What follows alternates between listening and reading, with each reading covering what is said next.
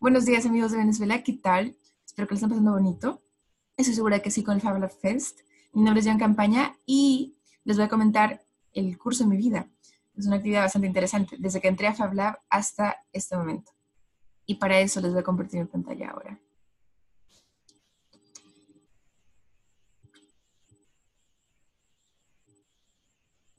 Uh. ¿Cuándo se grande creciendo en un Fab Lab? La razón por la que yo digo que yo crecí en un Fab Lab es que yo llegué muy joven a, la red de laboratorios de fabricación digital, cuando tenía 16 años. Y básicamente había salido del, colegio un mes antes. Entonces, algo que yo recuerdo muy claramente que estaba en mi mente y que estaba en la mente mía y la de mis compañeros en el colegio eran los amigos. Las presiones sociales, eh, los, las interesantes narrativas que, por las que pasa una adolescente Em, tenían bastante peso en ese momento. Entonces, por ejemplo, aquí están eh, mis amigos y yo en la universidad, aquí estoy yo en una mesa en la universidad, y, yo amaba a mis amigos, por supuesto que sí. Em, y sin embargo, una de las cosas interesantes que pasó cuando yo entré a hablar aquí es que yo conocí gente con las que podría hacer, podía hacer amistades yo de una manera distinta a la que yo había experimentado desde hace muchísimo tiempo. Entonces, una de estas eh, diferencias era básicamente valorar el juego. O sea, era la primera vez en unos nueve años que yo me dedicaba netamente a jugar, a explorar nuevos, nuevos caminos eh, que, podría hacer yo con, con, estas herramientas.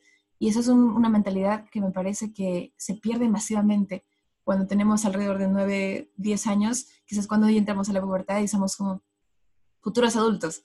Entonces la seriedad ataca. Entonces, por ejemplo, aquí, eh, es un cohete que hice con un amigo en uno de los, no sé, algo de dos meses dentro, de Fab y es un cohete bastante común en realidad. Es, em, es uno que haces con bicarbonato de sodio y vinagre de manzana, o vinagre blanco en este caso, y básicamente eso genera una reacción química que te da el poder suficiente para propulsar tu cohete. Entonces, ahí estamos jugando básicamente con lápices. Después, esto es una escultura de botellas. Em, eso era parte de un grupo, em, éramos Fab Lab Kids, que probablemente ustedes van a ver también en Fab Lab. Eh, Henry Sánchez, una persona maravillosa. Eso, por ejemplo, también, eso es, lo hice para el aniversario con mi primer enamorado. Eso es una aplicación en Processing que básicamente te deja dibujar en círculos de colores. Entonces yo en ese momento pensaba, si es que no le regalas tú una aplicación de Processing a tu enamorado, o sea, ¿qué más le vas a regalar? O sea, no, no hay otra opción. Y eso, por ejemplo, eso es eh, muy importante para mí porque fue el primer modelo 3D que yo diseñé e imprimí, eh, o sea, todo hecho por mí, una mano con pirámides, un poco místico. y fue básicamente, fue el momento en el que se materializó el concepto de tú lo creas y tú lo obtienes, lo tienes en tus manos, lo tienes en tus manos. Es, es un concepto, me gustaría eh, puntualizar acá, que todo esto no estaba incluido para nada en la manera en la que al menos mi colegio eh, solía, solía dirigir el camino de sus estudiantes. Eso todo lo había olvidado, había olvidado la capacidad de yo eh, materializar lo que estaba en mi cabeza. Y no solamente esto, con los amigos de FabLab, los amigos de FabLab, suena que están muy lejanos de mí, en realidad son gran parte, eh, o sea, son parte importante de mi, de, de las personas a las que yo con las que yo tengo extremo afecto. Entonces, los retos. ¿Qué onda con los retos? Yo a los, 16, a los 16 años nunca había tenido antes la oportunidad de ser parte importante de la organización de un taller, por ejemplo. Este fue, eh, fue el piloto de un taller que yo daría en el FAB 12 o FAB, sí, FAB 13, me parece, en realidad, el Congreso Mundial Fab Lab en Chile.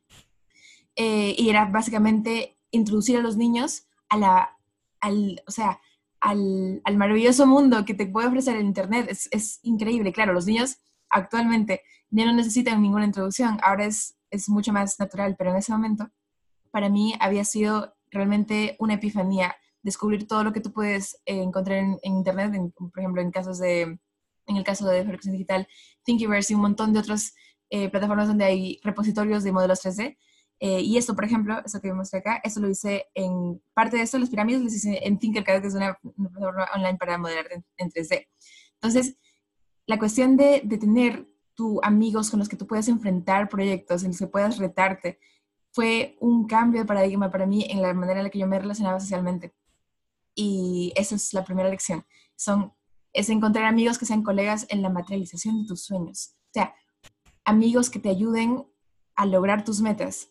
Y claro, también están los amigos, eh, o sea, no hay varias formas de lograr esto, ¿no? O sea, no son solamente amigos que trabajan a tu lado en, en, tu proyecto de electrónica o en tu proyecto de programación, sino amigos que te ayuden a salir adelante en cualquier forma, o sea, te pueden mandar memes y eso ya es suficiente.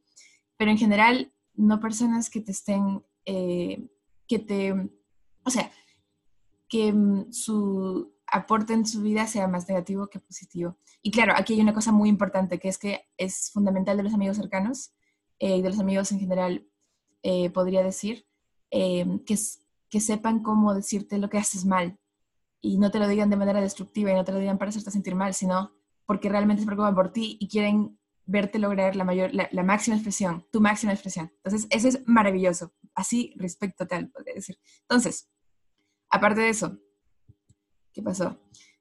Esta primera experiencia me hizo, o sea, me llenó de, de ganas de seguir en este, en este mundo. Y lo que yo hice después en, la red Fabla fue inscribirme en este curso de biología sintética, lanzado por MIT, y eh, básicamente eh, era un programa de unas 13 clases en las que aprendíamos eh, temas de vanguardia en biología sintética, por ejemplo, aprendíamos microfluídica o, mm, o sea, cómo puedes tú jugar con el microbioma, un montón de cosas que yo tenía en ese momento 17 años y eran espectaculares en ese momento. Y la cuestión es que yo en ese momento había salido de la universidad y, y era fue un cambio total en la manera de eh, percibir mis estudios, porque eso es una forma mucho más basada en proyectos. Entonces, por ejemplo, en mi proyecto final para este, para este programa, eh, yo diseñé unos tatuajes biosensitivos, eh, cuyo, cuya mayor función, cuya principal función es detectar niveles hormonales en la segunda capa de la piel, la dermis, em, por ejemplo, como, como el, la hormona del estrés, el cortisol, o la adrenalina también puedes encontrar allá en, esa, en, esa, en ese tejido intersticial y en respuesta generar eh, proteínas fluorescentes. Entonces, eh, ¿qué teníamos en esto? O sea, es curioso porque e, esta capa de la piel, la dermis, también es el lugar donde se ponen las tintas de tatuajes. Entonces, esas proteínas fluorescentes iban a poder ser vistas como tatuajes. Entonces, aquí tenemos, por ejemplo, en realidad es un implante dermal. Entonces, ahí se guardan los biosensores. Por ejemplo, aquí tenemos las dos partes del, implante dermal. Una de las partes, o sea, la parte, el corazón del proyecto es la parte em, de biosintética, donde básicamente tienes que alterar una célula para que sea capaz de receptar, de recibir, de percibir, podría decir, la hormona que tú has elegido, el cortisol en mi caso, y en respuesta a producir la proteína fluorescente. Aparte, tienes que encargarte de que tus, tus células, porque todo esto está dentro de una célula de levadura, eh, o sea, tenga suficientes nutrientes para poder seguir viviendo. Porque es como si mandaras tú una persona a Marte. Tienes que, tienes que eh, como no es su hábitat natural, tienes que eh, suplementar todas sus, sus, necesidades, incluidas el dióxido de carbono y, o sea, un outlet para el dióxido de carbono y acceso a oxígeno. Y aparte de eso, muy importante, eh, encapsulation, o sea, todo esto que esté aislado del resto del cuerpo, porque algo que no queremos, por ejemplo, es una fuga de de células extrañas en nuestro cuerpo. Entonces, para tener las, ventajas de ese proyecto y no tener ningún problema de salud, será muy importante. Entonces, en un poco más de detalle, por ejemplo, aquí podemos ver, esta es la célula de levadura que eh, había que editar y básicamente la hormona del cortisol eh, va a través de la membrana eh, lipídica, porque también tiene parte lipídica, entonces se encuentra con el receptor de glucocorticoides el receptor de glucocorticoides atraviesa un cambio conformacional, que, quiere decir que cambia de forma y en realidad se divide y envía, em, envía básicamente un mensaje al ADN para que empiecen a producir eh, la proteína que tú quieras. Entonces, por ejemplo, esa es la proteína, la que se nota en ese eh, diagrama es mCherry, que es una proteína fluorescente roja que me encanta. Y básicamente con este proyecto, con este proyecto, eh, yo participé en la, en la feria de ciencias de Google y también publiqué un conference paper en, en FabLab 14, en el Congreso Mundial de FabLabs, el siguiente año, el 2018. Fue o sea, en general ese proyecto, me parece que trabajé en esto algo de cuatro o cinco meses en un laboratorio de ingeniería en Perú como parte del programa de biología sintética. Entonces, con esto, eh, yo aprendí la segunda lección increíble, que es nunca esperes a ser grande o a ser ciudadano ante la ley. Yo tenía 17 años y todavía no podía, todavía no tenía mi, mi identificación, como diríamos en Perú, DNI azul, todavía no lo tenía. Y, y no podía ir a la cárcel tampoco. Entonces, no, no, no, tenemos que esperar en realidad. O sea, hay personas de 14, de 15 años, si es que hay alguien en el cuarto, saludos. Em, tenemos una capacidad increíble de construcción, de, de, creación. La creatividad sigue ahí, la creatividad no se ha ido. Entonces, o sea, no importa en realidad qué edad tengas. Em, después ya les contaré mis experiencias siguientes, pero conocí a una persona, conocí a una señora de 50 años, eh, más o menos que asistió a uno de los talleres que, yo estaba dando hace unos dos meses y quería básicamente armar su microscopio. Entonces vamos a ver cómo, llegó eh, cómo llegué yo a ese punto de armar microscopios con personas. Pero eh, eso es para ejemplificar que en realidad no importa la edad que tú tengas, mientras tú tengas la curiosidad, adelante, tienes todas las herramientas. Entonces, vamos a ver qué pasa acá. Aparte de esto, en este camino en el Bioacademy, yo me di cuenta también de una cosa, eh, de, un, de una vena mía educativa de la que yo antes no había dado cuenta. Pero ¿cómo inició eso? Yo eh, participé en clubes de ciencia Perú, en el club de neurociencias que se llamaba eh, El sonido de las neuronas, cómo hacer una cucaracha bailar, básicamente. Aquí, estamos estudiando el sistema, el sistema nervioso, el sistema, otros sistemas de lombrices de tierra y de cucarachas. Y básicamente lo que pasó en este, en este club, aparte de una maravillosa experiencia educativa con eh, la tutora, también conocí a una serie de personas interesantes. Entonces, estas personas interesantes Em, después serían, o sea, nosotros todos seríamos los, el equipo que formaría esa institución, Instituto de Lab. Entonces, ese fue uno de los primeros laboratorios comunitarios de Perú y básicamente nos reunimos porque em, varios de ellos estudian biología o tenían gran interés en biología. Entonces, eh, nos reunimos para hacer cosas, a vamos a ver qué podemos hacer en nuestras casas. Y la razón por la que nos llamamos in situ es que eh, normalmente las dudas eh, la curiosidad nace en las casas de las personas, nace, nacen con nosotros, en, en, nuestro hábitat natural, que son las casas y los dormitorios, pero son normalmente resueltas en laboratorios eh, científicos muy inaccesibles, o sea, en medio de un, en el corazón de una universidad muy lejana normalmente. Entonces, lo que proponíamos nosotros es que las dudas no se, no se resuelvan allá lejanamente, sino se resuelvan in situ, donde habían nacido, en las casas de las personas. Y es básicamente el, el concepto. Entonces, prototipo 1 queremos ver cómo podemos cultivar eh, bacterias sin gastar demasiado dinero. Entonces, prototipo 1 fue básicamente cultivarlas en gelatina, gelatina normal. Em, el equivalente de eso sería gelatina de, no sé, un tercio de dólar. Entonces, vimos que en realidad sí se podía cultivar. Aquí están las, aquí están las colonias bacterianas y aquí también encontrábamos células curiosas. Nosotros, esto como había varios chicos que estaban trabajando ya en laboratorios de biología en la universidad, llevaron muestras básicamente eh, y vieron, vieron las células que habíamos cultivado.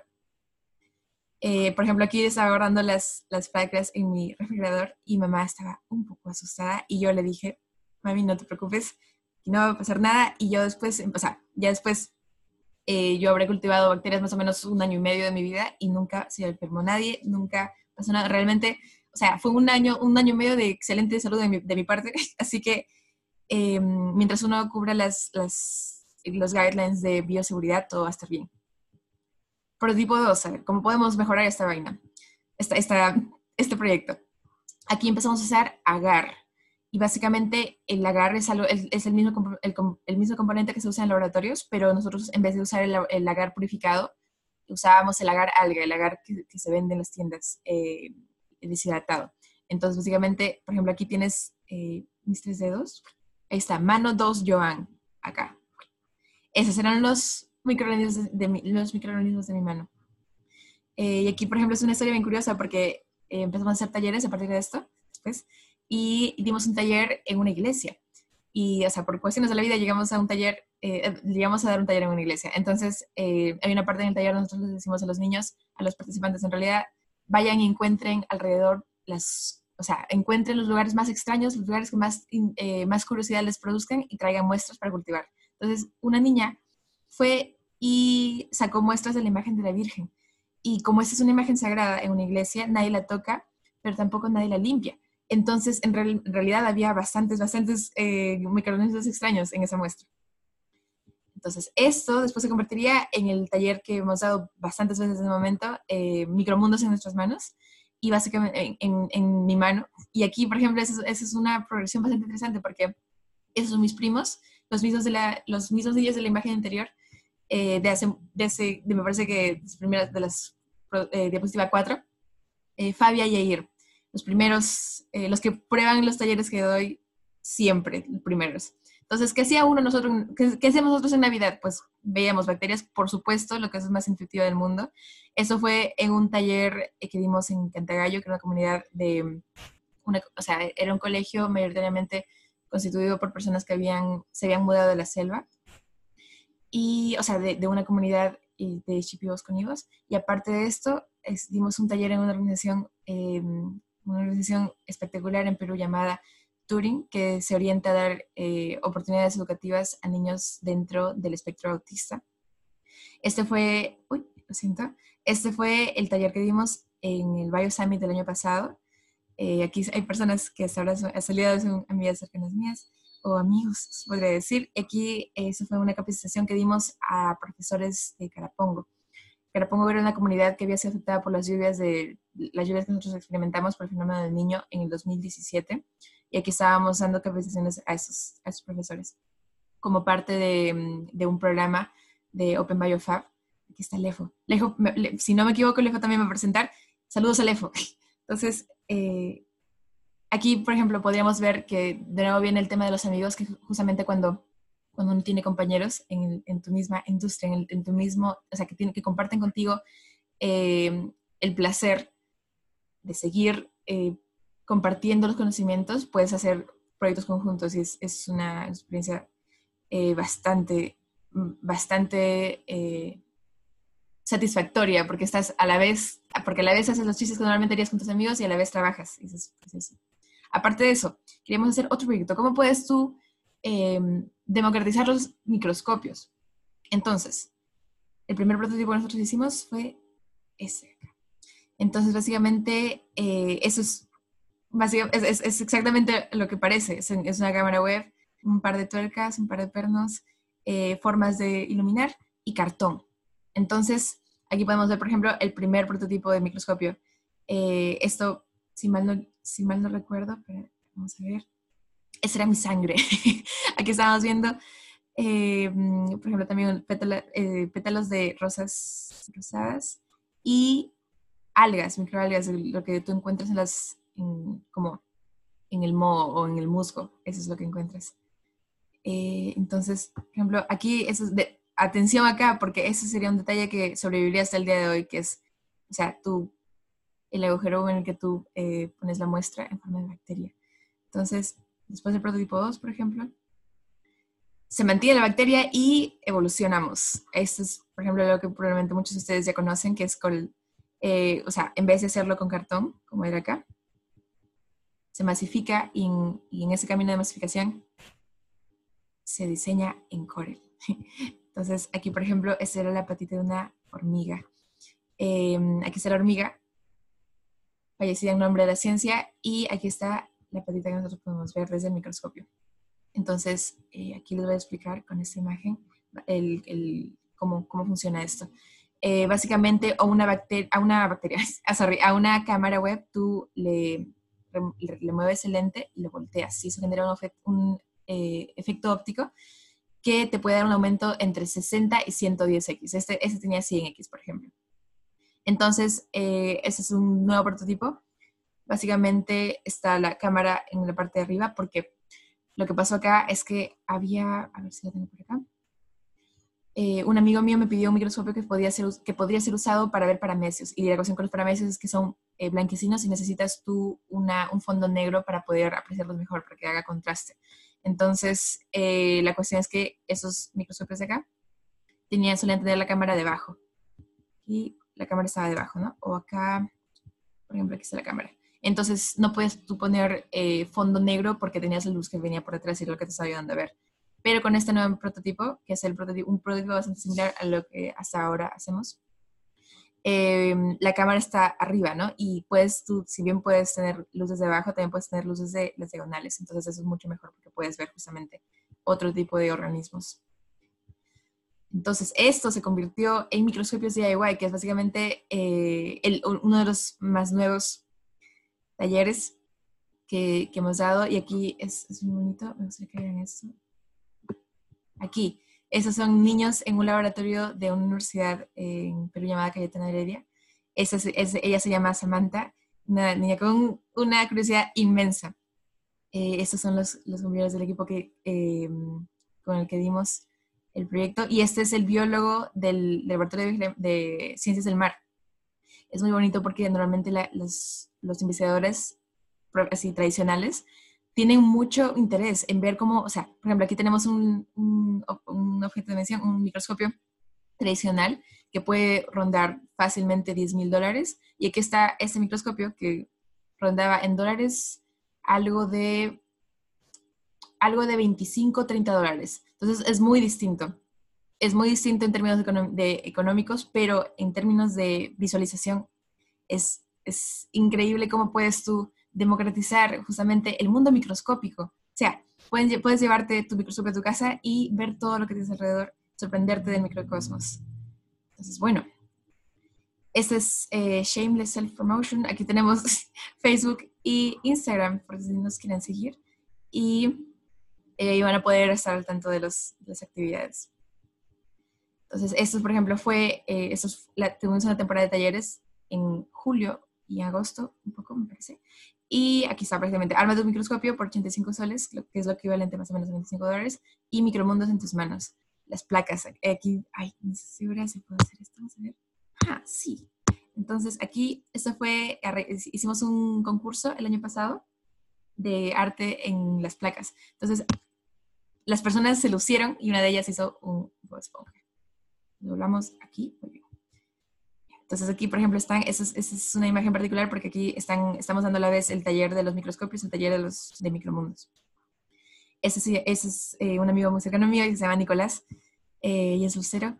Ella estaba de alumna en ese, en ese taller y, o sea, volvería después a talleres eh, siguientes es, es, muy bonito porque tú con, los, con, con las personas que atienden a tu taller, tú puedes construir relaciones muy chéveres después porque tienes intereses similares. Entonces es, paja. Entonces yo así, me, o sea, me encantaba este, todo ese, ese asunto, así que dije, ¿sabes qué? Give me more X2. Entonces, eh, todo en la, en, la, onda educativa, por ejemplo, yo di un taller, o sea, fui parte de los, de los que dimos un taller, lo dimos con, tres personas, con dos personas más, eh, un taller de biología molecular orientada a biología sintética. ¿Qué, es lo que, ¿Qué de biología molecular necesitas tú para entender biología sintética? En, UTEC, como parte, o sea, invitada por una organización llamada Biotech. Biotech aquí. Uy. Aquí, vamos a ver. Aquí, gente preciosa. Eh, entonces, básicamente, difundir tus conocimientos. Eso es, eso es, o sea, todo lo que tú aprendes compartirlo, porque hay mucha gente que sigue como tú estabas hace un año. En, mi caso, como yo estaba hace unos tres años, que es, o sea, no tener idea de lo que tú puedes lograr. Entonces, arte en agar. Ese es el concurso que nosotros hicimos. Aquí están los ganadores, por ejemplo. Este es un pez. O sea, ay, sorry. Ahí estamos. Este fue el ganador por eh, voto de los jurados. Este también fue un ganador. Y este fue, es una organización de Perú de biología que ganó por voto popular. Entonces tenemos eso y lo hicimos en, conjunto con Biotech también. Entonces, ¿qué significa esto? Explora y descubre tu pasión. Eso es, eso es, es fundamental, porque recordemos que yo estaba en la universidad y algo que no les comenté es que yo estaba estudiando ingeniería electrónica, que era, o sea, no teníamos nada de biología en el currículo en realidad. Em, y esto en realidad significa equivócate, equivócate sin miedo. O sea, entra, o sea, si es que tú tienes que entrar a la universidad y descubres que la carrera no es lo que tú quieres hacer, pues pues en ese momento tenemos que usar la valentía de nuestros corazones y decidir, a ver, qué es lo que realmente quiero hacer y, hacerlo sinceramente, porque si es que no lo hacemos sinceramente, va a volver a ocurrir lo mismo. Y bueno, entonces, volvemos a la universidad y ahora ya estoy acá y eh, eso es una cosa bien particular porque, eh, bueno, tenemos aquí los amigos de la universidad, ¿verdad? Pero aquí, o sea, recuerdan que yo les mencioné sobre, el proyecto de biología sintética. es curioso porque yo después del proyecto me di cuenta que lo que más me había gustado de todo el proyecto no había sido la parte genética, sino había sido la parte básicamente comportamental. O sea, me había encantado aprender sobre las hormonas y cómo se relacionaban como, con los estados emocionales. Entonces, eh, cuando en ese momento mi, mis mentores de laboratorio, mis, amigos, me decían, hay que, hay que llevar más allá tu proyecto, más, allá tu, tu, el prototipo de los, de los tatuajes fluorescentes biosensitivos. Y dije, pues, en realidad me gusta neurociencia. Entonces, lo que hice fue pues, empezar a postular cursos de neurociencia y aquí, por ejemplo, estoy, eh, aquí estoy yo, acá, eh, en un curso de neurociencia en Departamento de Psiquiatría y Ciencias Comportamentales de Stanford, al que asistí em, en julio del año pasado, con un montón de, de compañeros pequeños como yo. Y este fue un curso que reafirmó mi interés increíble en las neurociencias. Por ejemplo, lo que dice acá, aquí estoy yo. Eh, lo que dice Volviendo a Perú, aquí este es mi mentor de laboratorio, Marco Peña, que es una persona increíble. Y, y si es que sigo diciendo que hay personas increíbles es porque realmente hay tantas personas increíbles, es, es impresionante. O sea, cuando uno está en el colegio no se da cuenta de todo el mundo fuera. Hay muchísimas personas que tienen em, un drive increíble, una curiosidad indestructible. Por ejemplo, lo que nosotros estamos haciendo acá era cultivar eh, neuroblastos para después eh, observar su desarrollo hasta neuronas y después íbamos a probar eh, cómo reaccionaban a ciertas sustancias. Esta fue la primera vez que los neuroblastos eh, o sea, empezaron a diferenciarse y fue increíble. Eh, esto es todo producto del gran esfuerzo de Marco Peña y lo que él me enseñó a mí, como yo le, pude colaborar en el proyecto. Entonces, eso, por ejemplo, eso me hacía sentir una alegría indescriptible. Entonces dije, pues, enos acá. Y claro, incluso cuando uno está en el lugar donde le, donde le encanta estar, todavía hay problemas, siempre va a haber problemas. Esa es, una, cosa fundamental. Por ejemplo, aquí tuvimos una fuga de una sustancia, una, proteína, una toxina. Entonces, básicamente, tienes que limpiar tu cabina de flujo laminar. Y aquí está Marco, eh, como un extraterrestre, para, para solucionar el problema. Incluso acá, incluso los problemas me siguen encantando todo este asunto. Me siguen encantando. Entonces, esto es una nueva iteración del, mismo explora y descubre tu pasión, es equivócate sin miedo y en lo medida de lo posible empieza temprano, porque encontrar aquello que nos encanta normalmente demora, demora no poco. Entonces, es mejor iniciar lo antes posible. Y finalmente, aspira al máximo. El, el, año pasado, no, perdón, este año en realidad fui admitida a la universidad en la que estoy asistiendo ahora mismo y ese es mi cuarto de la universidad y ahora que estoy estudiando eh, neurociencias y computer science. Entonces, eh, básicamente es, he dicho bastantes básicamente en, este, en esta conferencia. Entonces, en esta, en esta charla con ustedes, em, determina aquello que te encantaría hacer y apunta ya. Entonces, muchas veces eso que apuntas va, va a ser un como, te va a llevar a caminos en los que, a los que no esperabas. Em, pero mientras estás apuntando lo máximo, creo que no va a haber problema. Entonces, recapitulando. Amigos que sean colados en tus sueños, amigos que, con los que puedes jugar y con los que puedes retarte a ti mismo. Nunca esperar a ser grande, o sea, desde que tienes 12 años, desde, o sea, si tienes 60 años, no importa, o sea, saludos a mi, a mi esperanza, que va a cumplir 70 años este, eh, o me parece que ya cumplió en realidad hace unos días, 70 em, años, o sea, no importa, la curiosidad es, la curiosidad no muere en realidad en las personas. Explorar y en la medida de lo posible iniciar temprano. Eh, porque ese camino probablemente va a ser un poco complejo, un poco accidentado, y aspirar al máximo. Y sobre este último punto me gustaría remarcar, es aspirar al máximo de uno mismo, no al máximo de otras personas. Eh, por ejemplo, ustedes no tienen para nada que, estar pensando como, ay, este, hacer un, eh, un, pregrado en neurociencias en una universidad random de Pensilvania, o sea, para nada. O sea, es como lo que ustedes, lo que ustedes sientan que es su pasión, pues allá. Si les encanta la literatura, si les encanta Em, la ingeniería, si le encanta la gerencia, lo que sea. O sea, allá, eso, es, lo que me gustaría decirles. Y con esto, muchas gracias. Espero que les haya servido un poco esta charla y si es que tienen alguna pregunta, pues eh, pueden eh, decirle a Daniela. Gracias Daniela por la invitación, ha sido una, una o sea, eh, el hecho de poder llegar a personas en otro país es siempre una experiencia eh, es siempre una oportunidad increíble para, para poder refinar tus ideas y, y, descubrir aquellas que valen la pena compartir. Y muchas gracias por esa oportunidad. Espero que la sigan pasando increíble. Vamos a ver. Aquí. Sí. Espero que les sigan, les sigan pasando increíble en el Fabulous Fest y muchos saludos a toda la gente. Allá espero, estoy muy segura que dentro de, las personas eh, asistentes hay muchas personas muy, muy chéveres. Así que saludos a ustedes y hasta luego.